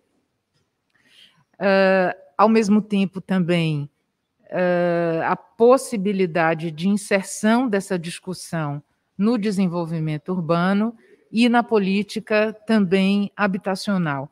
É, na realidade, é uma pergunta no sentido de saber se nesses seus estudos sobre várias cidades brasileiras, latino-americanas, europeias, é, cabe na sua metodologia também esse tipo de questão, né, relacionada ao próprio desenvolvimento urbano, ao planejamento urbano e como, né, essas políticas e essa prática de planejamento pode favorecer ou não a preservação desse patrimônio arquitetônico das cidades e também eh, até mesmo favorecer a permanência desses valores eh, de forma urbana e de soluções arquitetônicas mais tradicionais, eh, que, como você mostrou, normalmente são bastante adequadas ao lugar, ao clima, né, etc.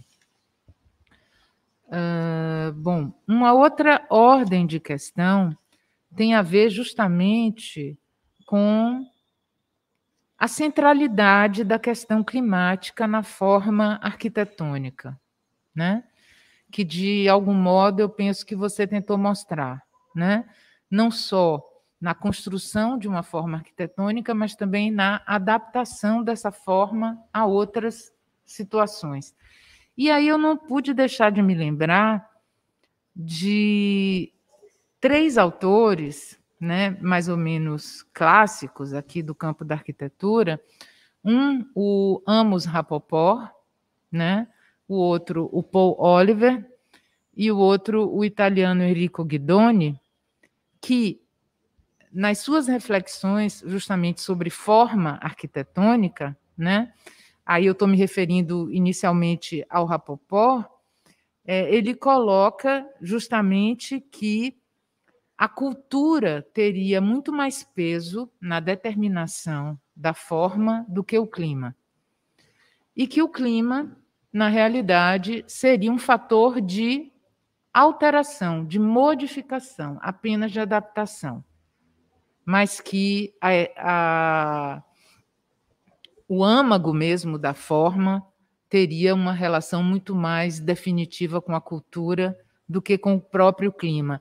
E aí ele dá uma série de exemplos de arquiteturas inadequadas ao clima novo em termos de forma, e às vezes até de implantação, mas que mantiveram uma determinada forma, mesmo assim, por razões estritamente culturais. Então, te ouvi um pouco sobre isso, né? E também sobre aquilo que o Henrico Guidoni coloca, né?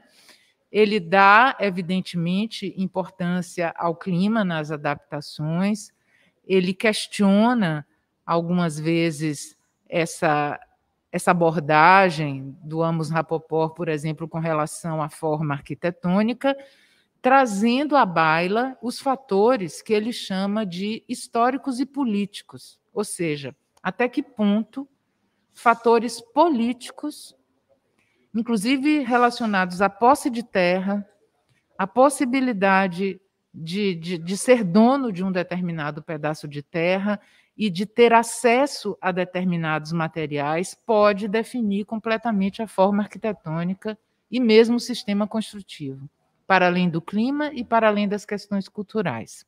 Né? E aí ele dá aquele clássico exemplo dos trulli da Puglia, na Itália, né? aquelas edificações em alvenaria de pedra com telhados cônicos, em que ele demonstra que o que determinou aquela forma não foi exatamente uma tradição cultural, nem mesmo o clima, mas a impossibilidade que aquelas comunidades tinham de ter acesso à madeira. Elas só podiam construir com pedra. E daí a solução que vem. Né? Então, te ouvir um pouco sobre isso é, como você se posiciona em relação a essa centralidade e a essa determinação do clima com relação à forma.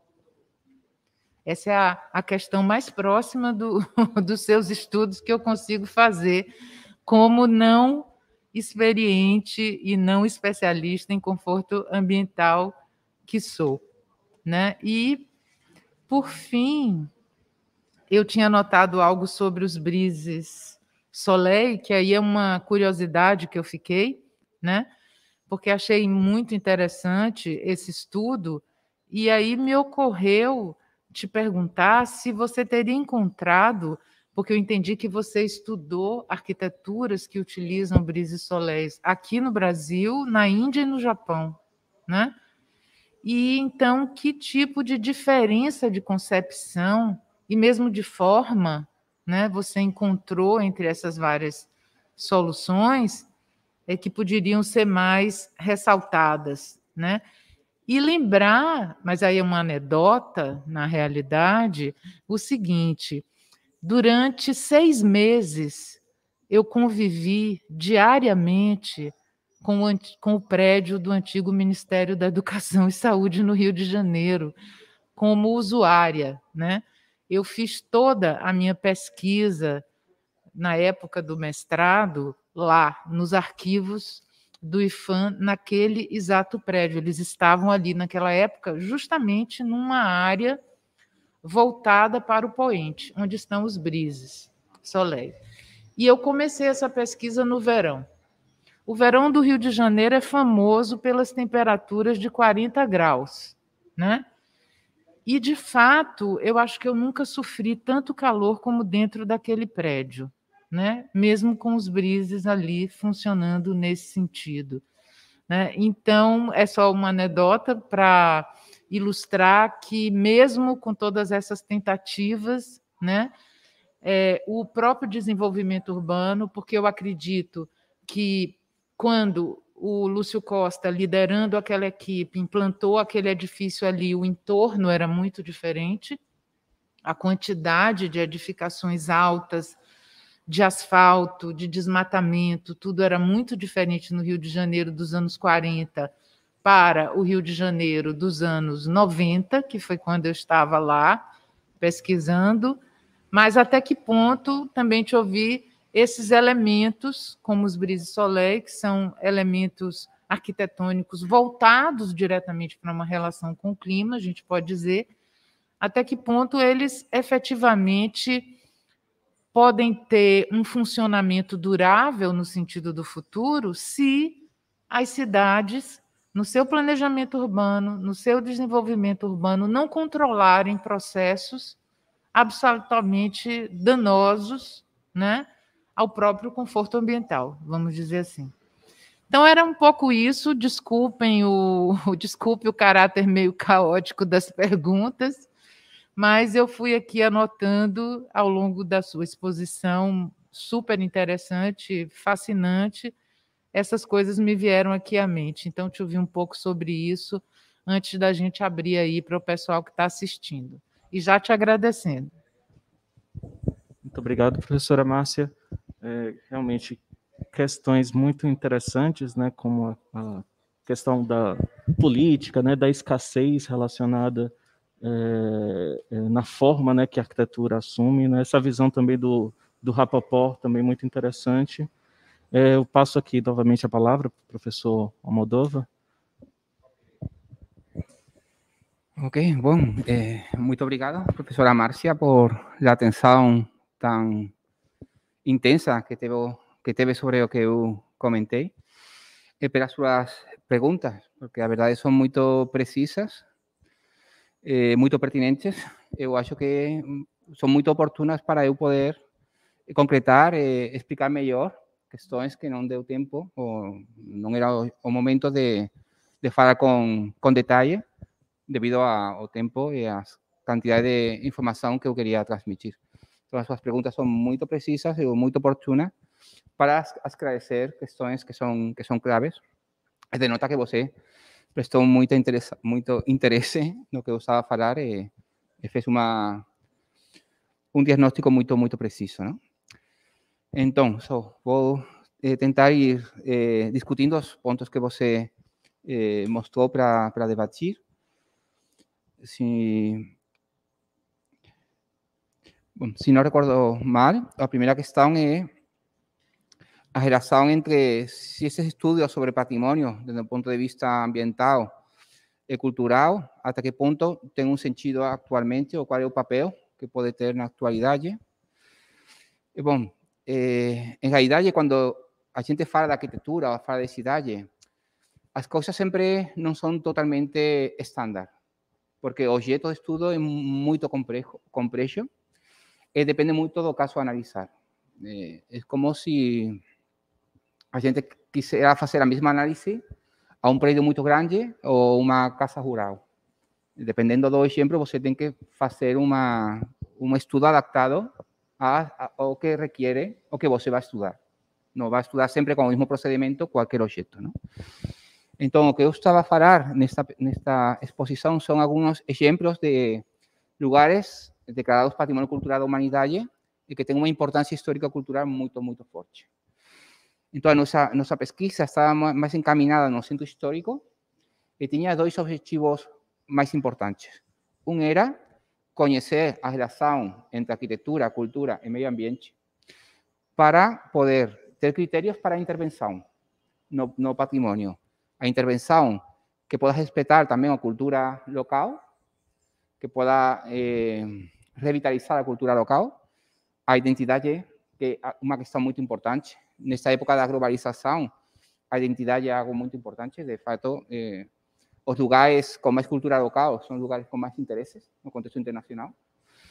Então, era eh, extrair eh, estratégias para intervenir no patrimônio, de jeito que as intervenções não invalidem aquelas questões que, do ponto de vista ambiental, são adequadas.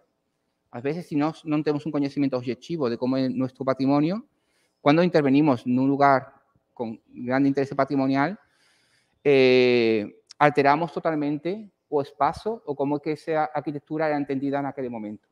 E invalidamos los efectos positivos que esa arquitectura tiene, porque no la conocemos y, por tanto, no sabemos cómo, cómo tratar las intervenciones en el patrimonio.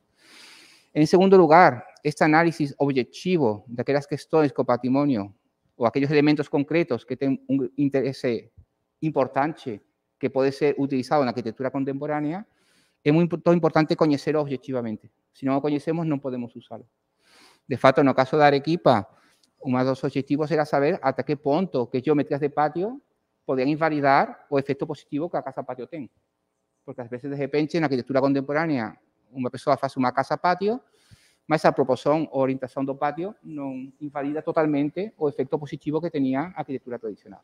Entonces, es necesario saber objetivamente cómo es que funciona, establecer límites a partir de los cuales esa arquitectura no es válida en la actualidad para poder reutilizarla. Entonces, era una objetiva dupla. Criterios para intervención y criterios para aprender lo pasado para poder hacer arquitectura contemporánea. Entonces, ese es un poco o objetivo. Obviamente, si você vai intervenir num lugar com menos força, menos força ou menos interesse patrimonial, a estratégia de análise é totalmente diferente. Dependendo de, do, do objeto de estudo, a metodologia vai, vai dar mais ênfase a uma, a uma questão que a outra, evidentemente. Mas sim, todo, todo na arquitetura tem que estar interrelacionado, porque um objeto de estudo é muito complicado e a análise tem que ser muito transversal para poder entender essa realidade na sua globalidade. En cuanto a que é mais importante, se a cultura o clima, que hai estudos que falan de mellor a cultura, outros máis énfasis no clima. É a mesma coisa, ¿no? Dependendo do xito de análisis, ás veces a análisis ten máis focalizada na cultura a veces máis no clima, dependendo do que você vaya, a realidade que você queira entender.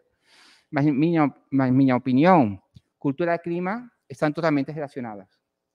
Se você viaja para o norte de Europa, verá que o espaço público é totalmente diferente o concepto de espaço público e a forma de habitar o espaço público que se você vai para uma cultura mediterrânea. Porque também o clima é diferente. O modo de vida, o, de habitar o espaço, de se comunicar, de se relacionar, está totalmente ligado ao clima. A cultura e o clima eu acho que é muito difícil de separar. Van unidas, às vezes, según o estudo, pode ter máis énfasis na cultura e a veces con o clima. Mas son dois caras da mesma moeda, están totalmente interrelacionadas. En cuanto eh, sí, questões políticas, eh, por exemplo, a, a posesión do, a pose do, do terreno para, para poder ter acesso a uma habitação, esas cuestiones, eh, sí, dependiendo del análisis, a veces se puede focalizar en una cuestión y a veces en otra. ¿no? Si vos está analizando las posibilidades de acceso a una, a una pose de, do terreno, obviamente las cuestiones políticas son muy importantes, las cuestiones socioeconómicas, más también tienen que ver con de dónde la gente ven y de dónde la gente quiere ir. Yo acho que siempre es bueno conocer el contexto cultural para saber cuál ha sido nuestra realidad y cuál puede ser a nuestra solución el futuro. Porque obviamente la discusión va a ser diferente no Brasil, no Europa, en Asia. Por ejemplo, na, no Japão, non, o preço do, do solo é tan, tan grande que inclusive hai muitas pessoas que non têm a posse do, do solo. A casa é muito barata em comparação com o solo, então às vezes tem como um aluguer durante 50 anos ou um tempo muito longo do lugar onde está a habitação, mas não podem tentar de ter a posse desse solo porque é incrivelmente caro, não? Eh, por exemplo, no caso da China, devido ao regime comunista, o solo é propriedade do Estado. Então, as pessoas não têm uma propriedade do solo como nós, nós entendemos o solo, a propriedade do solo desde a óptica ocidental e também é diferente a europeia que, ou da brasileira. Então, também o conceito cultural, onde a gente vê eh, cuáles son las relaciones con respecto a propiedad en diferentes culturas, tengo una influencia a la hora de entender esta cuestión y analizarla. Y a veces cuando trabajas con varias culturas, entiendes mejor lo que está aconteciendo y un pode aprender do outro e entender mellor a súa realidade, non? E despois a gestión dos brises foi, foi moito oportuna porque non, non eh, expliquei ben cual é o funcionamento do brise, non, bueno, non expliquei ben, non, non expliquei, porque só quería mostrar a pesquisa e, e dar as miñas publicações se alguma pessoa tiña máis interese, non? Mas o resultado da miña pesquisa realmente que que ese tipo de arquitectura teve problema. Teve problemas muito grandes. E teve problemas porque havia eh, falta de experiência naquela época, falta de instrumentais científicos, que agora a gente tem, naquela época não tinha, e, falta, e problemas conceptuais naquela época, a gente pensava que mientras mais llanera, mais luz, com o qual sempre é melhor, llanera todo prédio, e o problema do solamento poderia ser solucionado com o brise, que podia proteger do sol. Mas que acontece? Que o sol está constantemente se movendo. Então, se você quer proteger do sol, praticamente tem que tapar a fachada inteira. A questão é quanto tempo e a que horas a gente tem que é conveniente se proteger do sol. Não que com o brisoreiro o problema do sol vai ficar resolto, que não é assim. Isso está muito ligado ao tamanho da janela. No meu artigo eu faço simulações de toda a janela de vid envidraçada ou só determinados lugares onde a iluminação no fundo do prédio, que é onde mais precisa, praticamente é igual, mas reduz muito o problema de aquecimento. Então, a conclusão é que havia um problema conceptual e que o único jeito de conseguir uma boa solução é relacionar o tamanho da janela com respeito à parte opaca com também a proteção solar nos momentos certos. Pero o concepto de todo cristal e o problema do sol fica resolto con un brisol móvil non é, non é viável. Mas eh, naquela época non, non tiña experiencia suficiente. É unha experiencia interesante, mas teve moitos problemas. E son unhas das razóns pela que a questão da arquitetura do brise ten certos preconceptos, porque na práctica moitas veces non funcionou. Inclusive na cidade de Brasília, muitos prédios que foram, foram depois alterados porque eh, a proposta original não funcionou com respeito ao sol, os brises foram tirados, brises foram colocados de diferente jeito. E no final, às vezes, a arquitetura do brise se convertiu em algo que era totalmente oposto ao que a gente queria. Se convertiu em uma espécie de gesto estético. Quando era uma arquitetura que ia totalmente em contra disso. Ah, é? Mas é uma questão de, bueno, atualmente temos mais, mais instrumental, mais experiência. Eh, tratar com o clima não é fácil. E, e bueno, mas isso não quer dizer que a gente não tem que se preocupar pelo clima, sino tem que fazer estudos mais objetivos, mais avançados, eh, mas é um caminho que eu acho que é importante. E nada, muito obrigado por as perguntas, que são muito precisas, muito interessantes. Eh, bom, não sei, passo o microfone ao Piero. Alguns comentários. Bom, sei que a posição aqui na moderação, mas é, foram comentários e contribuições tão interessantes, né? É, que eu bom, também fiz aqui os meus os meus apontamentos, né? Em relação, né? É, muito interessante a visão do Rapoport, né? Sobre o que, que seria mais relevante, né? É, e aí acho que o, o, o curioso é que eu acho que não tem exatamente uma resposta errada ou certa. Eu acho que às vezes depende daquele contexto, né? Porque eu posso estar equivocado. Uma multiplicidade de fatores e que talvez em algumas culturas. Não exatamente um é o determinante. Sim. Mas, Ah, é, não, não exatamente um é o determinante, mas um deles pode ser o determinante, eventualmente, né? Como eu acho que o exemplo da Puglia, dos Trulli da Puglia, é muito interessante nesse sentido, né? Ele mostra que ali nem a cultura, nem mesmo o clima tiveram o fator determinante naquela forma, e sim a, a interdição de usar determinado material, né? E a, o lugar onde eles estavam instalados, muito rico em material lítico.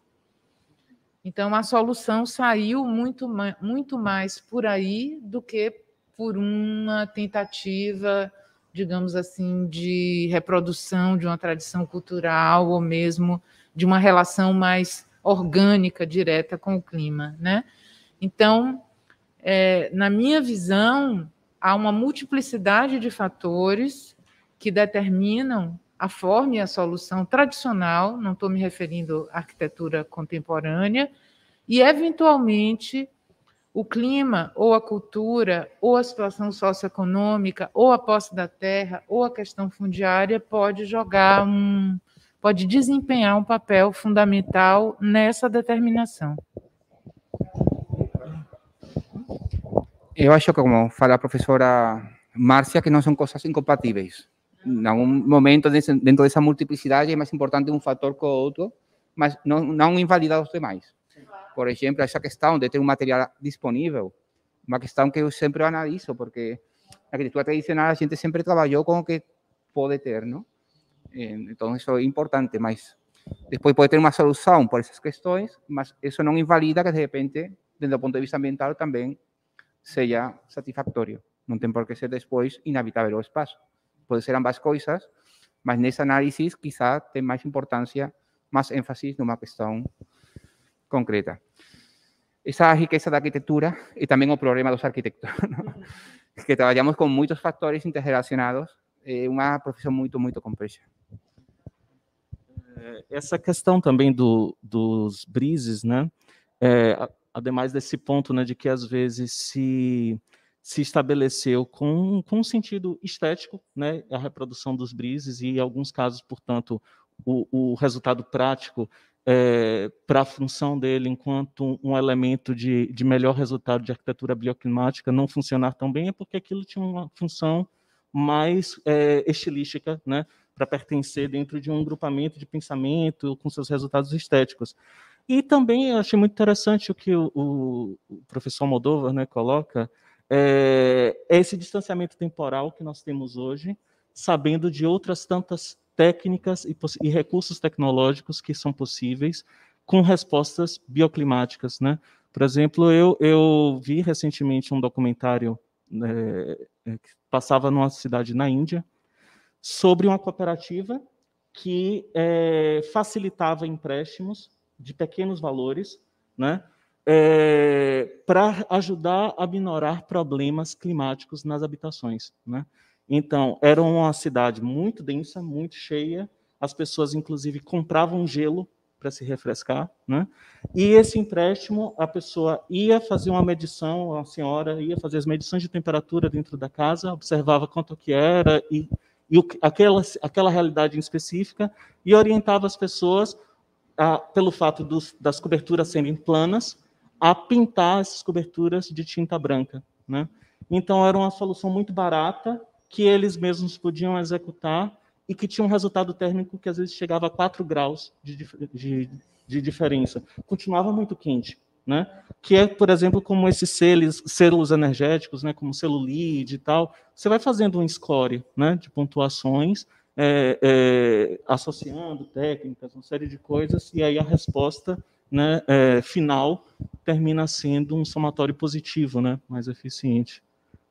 E esse aí é um outro exemplo de como não há nenhuma tradição e nem mesmo nenhuma cultura por trás dessa solução. Sim. Né? E sim, uhum. algo meio de cima para baixo. Uhum, sim. Que pode acontecer também e induzir a determinado caminho. Sim. Então é, é, bem interessante a gente ver isso tudo junto. Mas eu, eu também acredito que o clima foi importante nessa adaptação da, da arquitetura europeia. E eu diria não só adaptação, na própria transculturação, né? dessa arquitetura, ou seja, na transformação dessa porque eu acho que não é só adaptação, eu acho que tem aí uma transformação da arquitetura europeia a esse meio, né? E com certeza o clima desempenhou um papel importante, além de outros fatores ligados muitas vezes até ao tipo de parcelamento urbano de cada assentamento, né?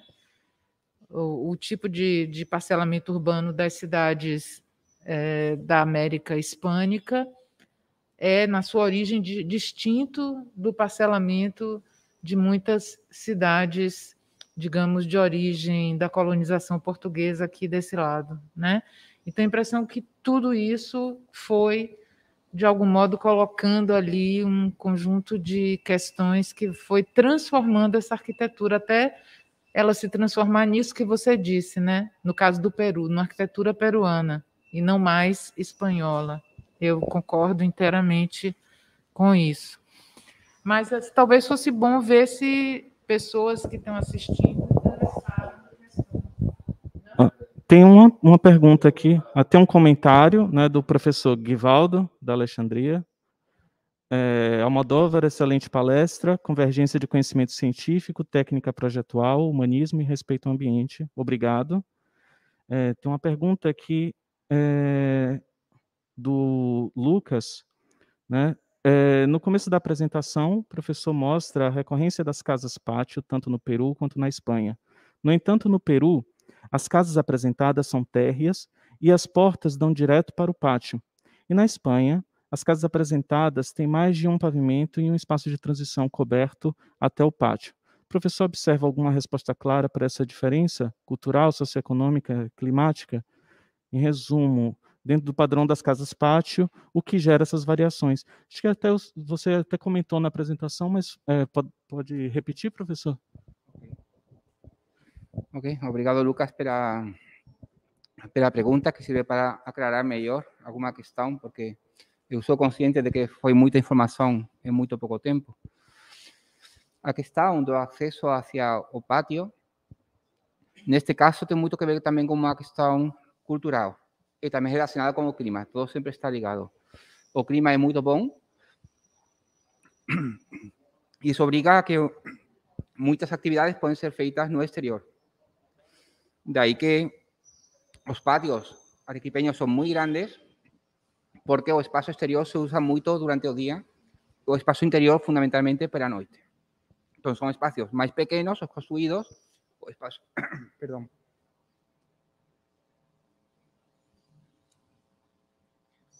o espaço aberto mais grande. Que acontece com a questão da galeria? É que os, os paramentos no pátio arequipeño é muito importante que carguen energia durante o dia, como uma bateria. De dia se carga e de noite eh, consigue manter o, eh, aquecido o interior. Então, por essa razão, se você coloca uma galeria delante da parede, a galería vai colocar en sombra a parede da casa. Entón, non vais a aquecer durante o día, non vais a recibir o sol para, para a noite. Tamén está moito ligado. Son moito masivos en Arequipa, porque a ter moita máis inercia térmica, consigue regular mellor a temperatura do muro. Permite que eh, o aquecimento sea moito devagar, mas tamén o enfriamento.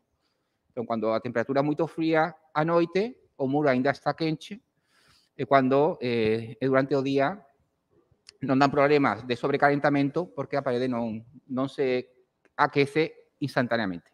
E por iso que a galería non ten sentido nesta arquitectura e realmente você pode perceber que non, non ten galería. ¿no? A questão de... As portas son moito pequenas tamén para, para a mesma questão, porque así a maior parte da parede ten inercia térmica e pode cargar energía. E durante a noite, os elementos máis fracos son as janelas, as portas. Se as janelas son reducidas no mínimo, as pérdidas térmicas da noite son mínimas. No patio andaluz é totalmente contrario. A xente precisa galería para manter en sombra o patio. E o patio ten que ser máis pequeno porque o verán actividades durante o exterior son casi imposibles, senón en un lugar con moita sombra e moito protegido como un patio pequeno. O clima está relacionado con o modo de vivir e, con eh, e, por tanto, con a cultura. Ambas cousas están ligadas e ten unha resposta na arquitectura. É difícil separar unha cousa da outra. Nalgúma pesquisa, unha cosa ten máis énfasis, nunha outra, outra, mas todo ten unha relación que non pode ser omitida.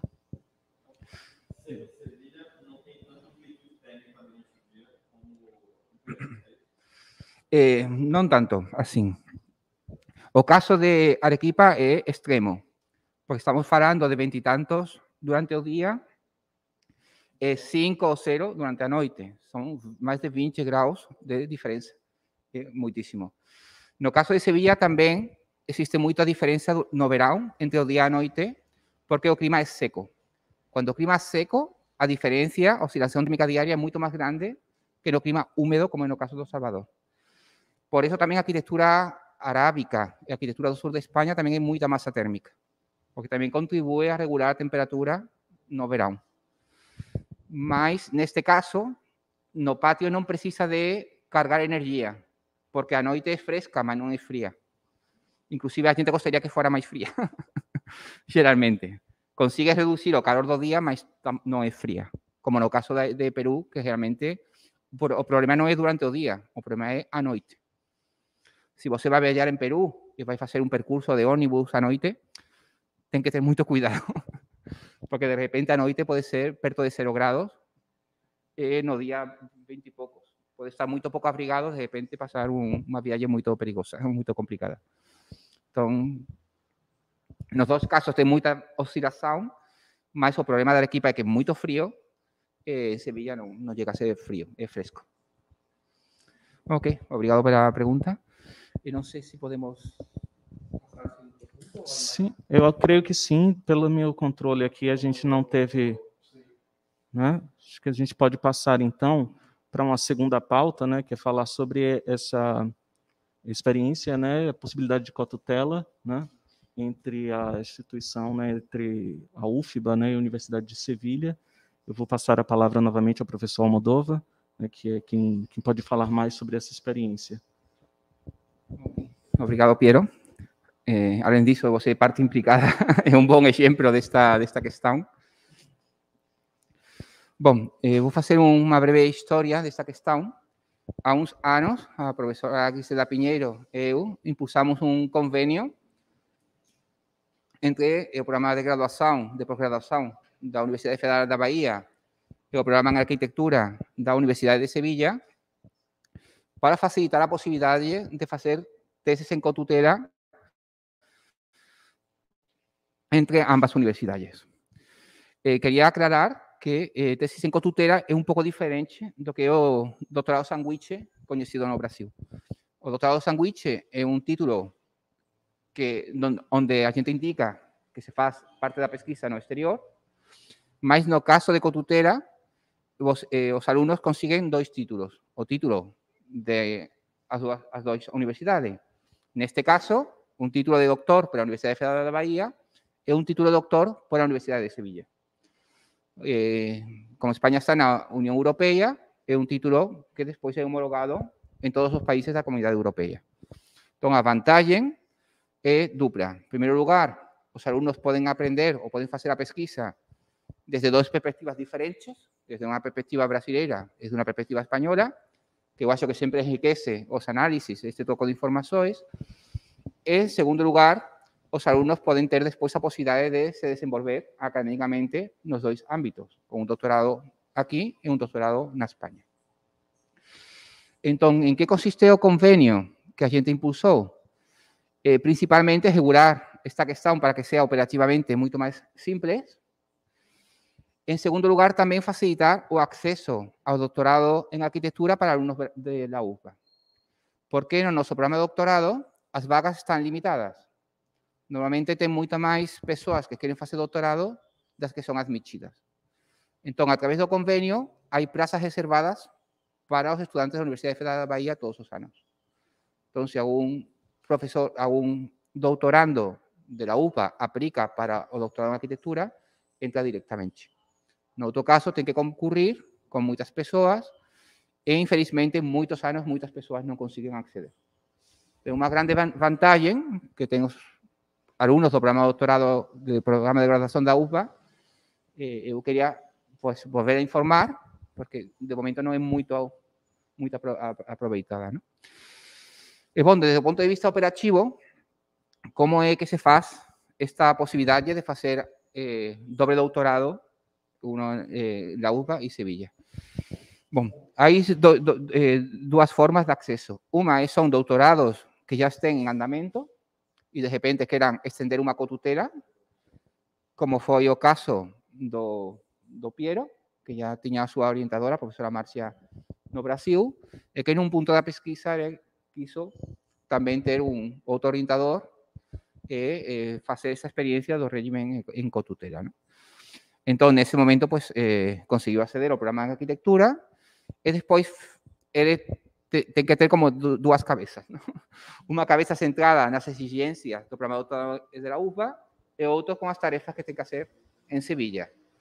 Mas geralmente son bastante compatíveis, porque a pesquisa se está facendo e só mostrará dun xeito ou mostrará de outro. En o doutorado en arquitectura, geralmente cada ano exigen un, unha serie de tarefas. Eh, unhas tarefas ten que ver con actividades culturais ou o realización de actividades académicas, eh, conferencias, eh, todo tipo de actividades que van se contabilizando. Y por otro lado, eh, que aprovar o seu trabalho em várias fases. Um, a primeira fase é a aprovação do projeto de, de pesquisa, tem que fazer como um resumo de que vai consistir o projeto de pesquisa. E na Espanha tem um tribunal, eh, par- eh, nessa altura, que faz cada ano uma avaliação. Primeiro do projeto de pesquisa mais elemental, eh, segunda avaliação é já com um, programa, um projeto de pesquisa com o seu índice dos temas, é muito mais detalhado. Então, tem que passar essas avaliações, que normalmente, se o trabalho é bem feito, e geralmente os, program- os doutorandos em cotutela, dois orientadores, eh, normalmente, bueno, no caso de Piero, todo foi muito, muito bem. Eh, bom, isso é um pouco o que o programa de doutorado em arquitetura de Sevilla vai exigindo. Também exige, antes da leitura da tese, a realização de algumas publicações, de uma participação em congressos, e alguma publicação em capítulo de livro ou em revista.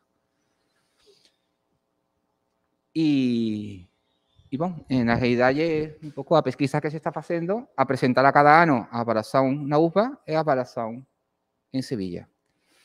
Há uma questão que é um imperativo, que quizá que é um pouco o mais eh, exigente, que é a necessidade de fazer um estágio na Universidade de Sevilla para os alunos da UPA.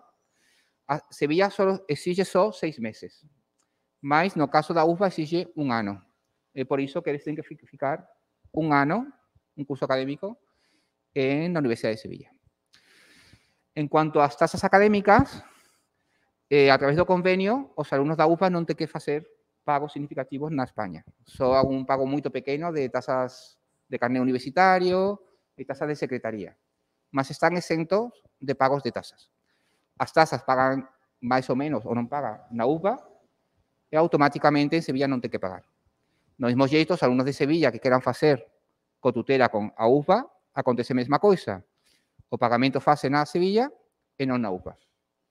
Entón, os alumnos están exentos de pago en Sevilla, mas ten que pasar pasarla no mínimo un ano. Eh, eh, depende se é continuo ou non coa normativa da UPA, que eu non coñezo, mas en Sevilla con seis meses, ou seis meses e seis meses sería adecuado, mas ten que que ten como referencia a normativa da UPA que eu non, non coñezo e, e ten que, que verificar. Mas a questão é así, en unha altura dunha pesquisa, de repente, podense incorporar a, a esta posibilidade de régimen en cotutela, aplicar en Sevilla, ser admitido, e despois, cada ano, facer unha a- avaliación do proxecto de pesquisa e de actividades académicas que realice durante o, o proceso de andamento da, da tese. E despois o acto de lectura se regulariza nun convenio e normalmente ten pois, profesores de Sevilla, profesores da UPA e tamén, por normativa de la UPA, un profesor externo a ambas universidades, que é o que vamos facer amañán na defensa da lectura do, do Piero Carapia, ¿no? onde estaremos os orientadores, a profesora Marcia e yo por a Universidade de Sevilla, un outro profesor da Universidade de Sevilla, un outro profesor da Universidade da UPA e un profesor externo, neste caso un profesor dunha universidade japonesa. Eh, unha vez rematado o, a defensa, que so, é única, os dos do- doctorando emiten o seu título. Sea, facer unha defensa, mas ya con unha defensa, os dois programas a, a, reconocen esa defensa e poden emitir o seu título de doctorado. Entón, Piero, afortunadamente, pues, vai ter o título da UPA e o título da Universidade de Sevilla. Bom, isto é un pouco a idea geral. eh, eu acho que pode ser algumas detalles que, que non expliquei, algumas questões que de repente a gente precisa de coñecer.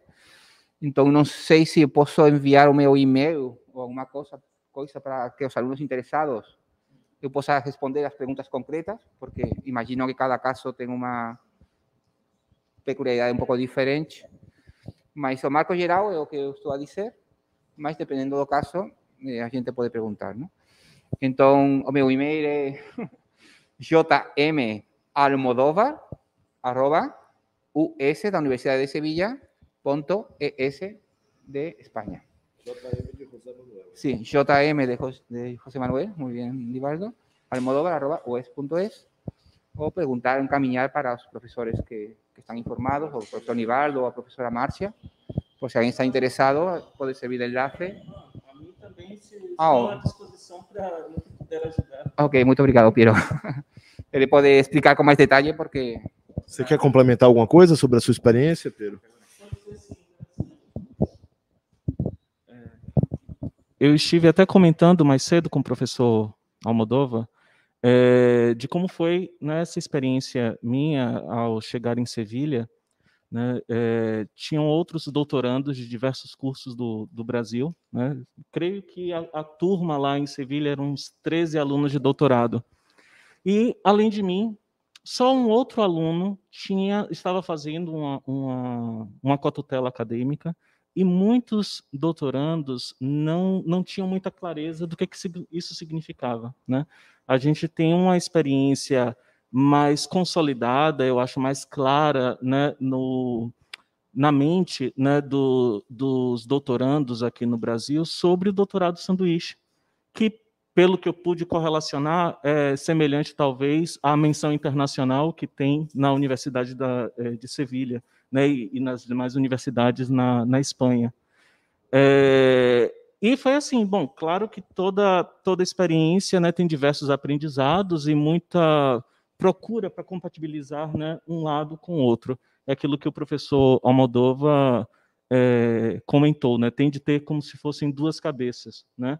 É, existe o convênio e a gente vai afinando, né, ajustando os elementos, né, tanto com com o apoio internacional aqui na reitoria da UFBA e também é, com a estância equivalente lá na Universidade de Sevilha, que no meu caso foi muito bem auxiliado pela, pela senhora Ana Moreno, que foi assim muito solícita, respondendo sempre, uma pessoa é, muito bacana nesse, nesse sentido, né?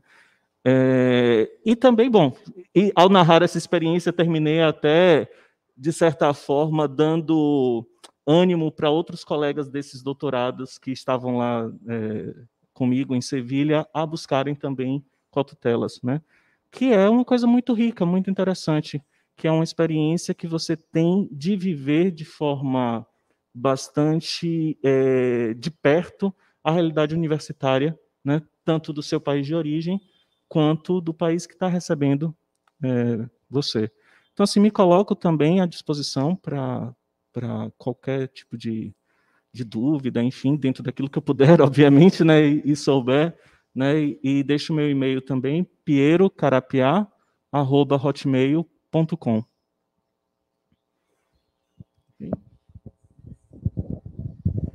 Muito obrigado, professor Moldova, pela excelente palestra. Obrigado, professora Márcia, pelos, pelos comentários e perguntas, a Piero também, e principalmente por essa parceria que eu espero que ela se continue se desenvolvendo, ela já vem de longa data, e que ela tome outro impulso e que outros estudantes venham procurar essa oportunidade é, da cotutela. A gente sabe que a questão das bolsas é complicada, mas algumas bolsas de doutorado sanduíche nós temos conseguido através do programa CapsPrint, principalmente. Eu não sei se a sua foi do CapsPrint, Piero, e embora ela não seja o programa é CapsPrint, a bolsa é da Caps. É, do CapsPrint, né? É, e temos outros alunos indo agora não em cotutela, mas em sanduíche. E claro, é difícil, como há muita demanda, ter a bolsa por um ano, mas a bolsa, se você consegue por um período, você consegue eventualmente se organizar para conseguir passar um ano lá com a bolsa de um período menor de seis meses. Não sei se você quer comentar um pouco.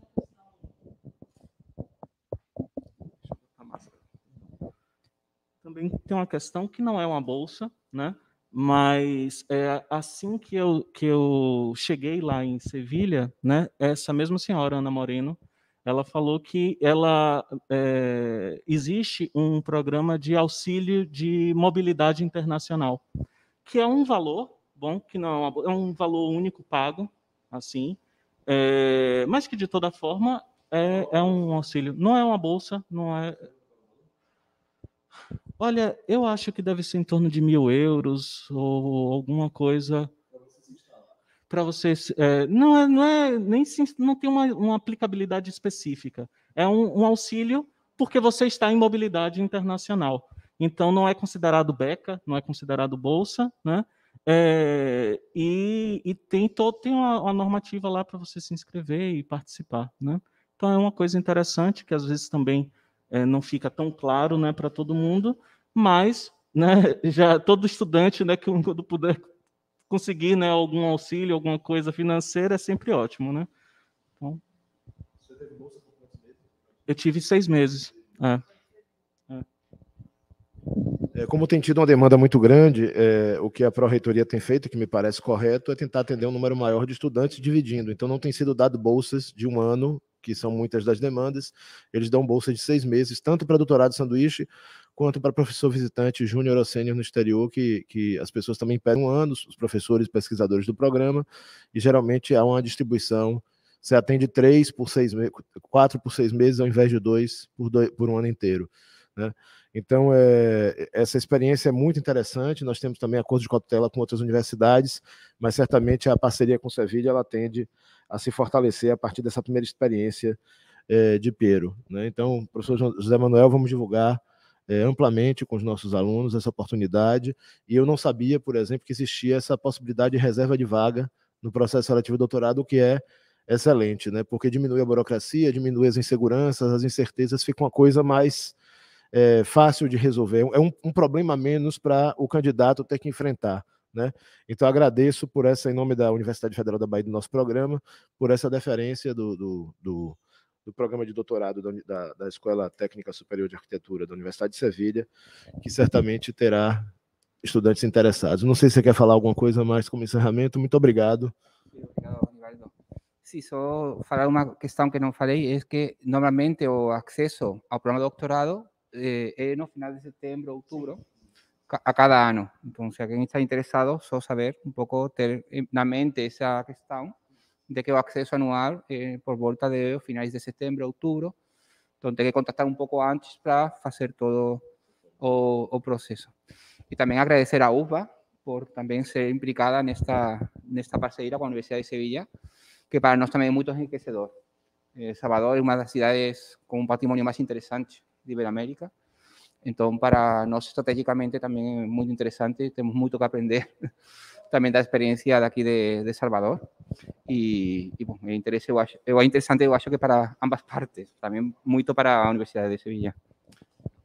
Muito obrigado, professor José Manuel. E a quem tiver interesse e não tiver conseguido anotar os e-mails de, do, do, professor José Manuel Modova e de Pero, pode mandar para o programa de pós-graduação. O, o e-mail está lá no nosso site, ppgau.ufba.com br que nós encaminharemos e colocaremos em contato com o professor e com o Piero. Muito obrigado. Encerramos por aqui. Boa tarde a todas, todos e todos.